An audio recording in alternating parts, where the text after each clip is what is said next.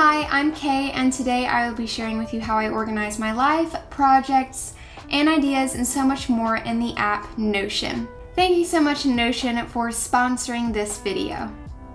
I'm a designer and content creator, and I'll be giving you a tour of my Notion workspaces and sharing what has worked best for me in regards to my setup in the Notion app. I've been using Notion for over two years now for a lot of different things, and what's great about Notion is that as my work has evolved, so has my workspaces. From keeping track of class assignments when I was in college to task and product management and design projects to upkeeping my productivity on personal side projects and to dos. On the self employment side, Notion has been a great task and product management tool and to document the growth of the K Digital Studio brand. And as a YouTuber, it has also been extremely helpful when organizing content ideas, video releases, and logistics. So let me introduce you to my Notion dashboards and the setup that has worked best for me and the different roles I take on. So I've created different workspaces or hubs in Notion, which are basically different places to organize my thoughts. Starting my own brand or business means that it can be difficult to create boundaries between work and personal life, so my Notion workspaces help with this. And I like to have them all visible under one page so I can easily click into each dashboard depending on if I need to manage my personal life or my work life. Many of the templates or general setup of my Notion is a big melting pot of a ton of other templates from creators who have so kindly shared their Notion templates as well, but I've adapted them or entirely redid the aesthetic or flow of those templates to fit my own needs. So I encourage you to stay until the end of the video because I will share with you the same templates that I've created and am sharing with you. So I like to have a general view of my dashboard once I enter into Notion. It's nice having a quick glance of the calendar and I add main events underneath to help me get a sense of what's coming up before I dive further into my work life or personal development. Over here on the right hand side, I've set up an integration into Notion with the app Boomerang.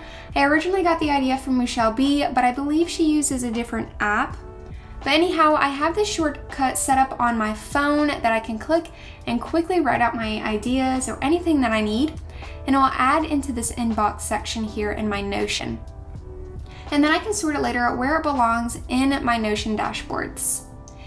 It's so helpful to have that to capture my ideas, and a lot of the ideas I get are for digital products. So it's nice to quickly capture that from my phone when I'm out and about, and then move that into the product management system that I have set up in Notion for K Digital Studio. If you're interested in setting up something similar for yourself, I'll link a tutorial you can follow in the description. Despite having everything referenced here in my Life Hub, I see my Notion as being broken up into four main ways planning, personal growth and development, content creation and business management, and then as my knowledge or reference database. So I will introduce you to how I use Notion for each of these four main parts of my life.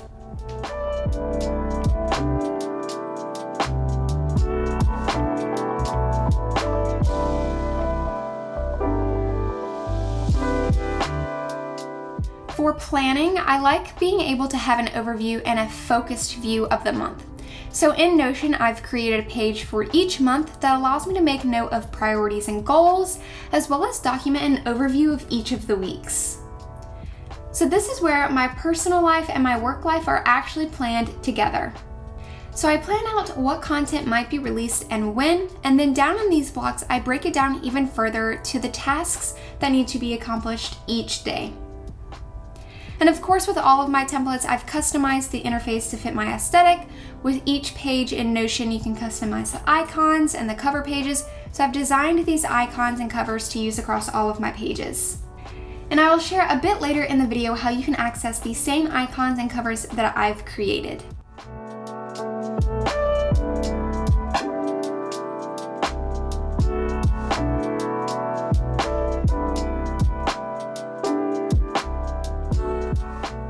So for personal growth and development, I've created a travel hub.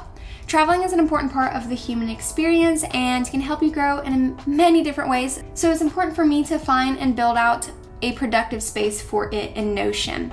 This was a setup that I've adapted from a user on Reddit. I highly recommend checking out the Notion subreddit for templates like this. If I'm able to backtrack and find the user, I'll link them in the description below, but I've had these templates for so long and have made some changes. But this is a great place for me to document the places that I want to travel, and clicking into each of these pages allows me to build out even more info about each trip. Things I want to see or eat, accommodations, and transportation.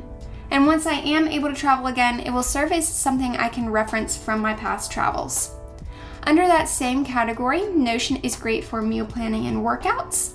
And I've loved using it for also tracking what books I want to read or have already read, as well as a spot for me to take notes on any nonfiction reads.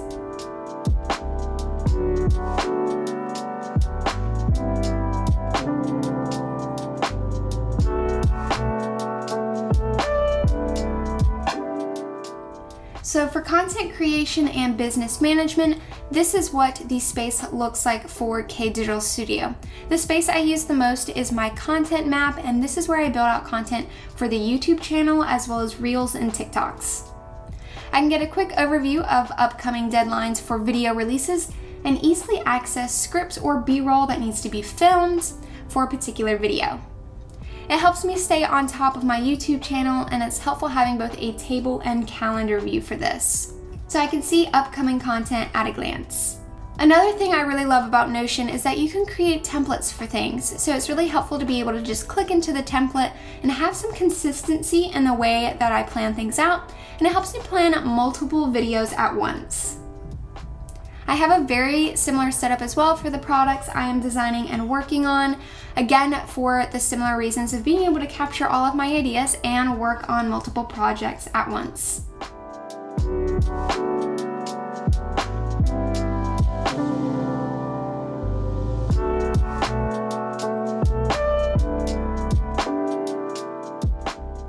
And then lastly, I use Notion as my personal knowledge or reference database. So I've created quite a number of lists or documentations of my routines, and this helps me maintain consistency and stay on track. For example, I've documented my weekly reset routine with a simple checklist style that reminds me of the things that should be done with every reset. Similarly, I've documented my check-in and check-out list, which is essentially my morning and evening routines. In my when did I last list, I've created a table where I can track when things were last completed and that I can reference when they need to be completed next. I wanted to quickly show you how to use the widgets from Notion as well. You can use them on your phone or iPad. And I have mine set up to where I can quickly access my most used pages through the widget on my iPad home screen or in the Today view on my iPhone. So to add a widget, you'll tap and hold anywhere on your home screen and then select the plus icon in the top right hand corner and just search for the Notion widget. If your Notion widget does not appear but you have the app installed on your iPad or on your iPhone, make sure you have the latest version of Notion installed and updated and then restart your phone or iPad. From here, you can select the widget you want to use. So they have widgets for specific pages, as well as your favorite Notion pages or your most recently opened pages. Personally, I like the large widget for my favorite Notion pages on my iPad Pro 12.9 inch, so that's the one that I will select. You can mark your pages in Notion as a favorite by heading inside your Notion workspaces, clicking the three dots in the upper right hand corner, and then selecting Add to Favorites. And if you're using the Favorites widget from Notion, you'll see your pages added there. So that wraps up my Notion tour. Let me know your thoughts down in the comments below. In my description, I've included a link to my shared Notion hub where I'll include some of the templates that I showed in today's video, as well as the icons, cover photos, and mini calendars that I've designed. I update the shared Notion hub often, so be sure to bookmark it and check back often for free downloads and updates. So I hope these templates and free downloads help you get started with Notion and helps you not only increase your productivity, but improve your peace of mind and provide some mental clarity for you as well. Thanks again, Notion, for sponsoring this video. Don't forget to check out Notion using the link the description as well as my shared hub for the templates and free downloads.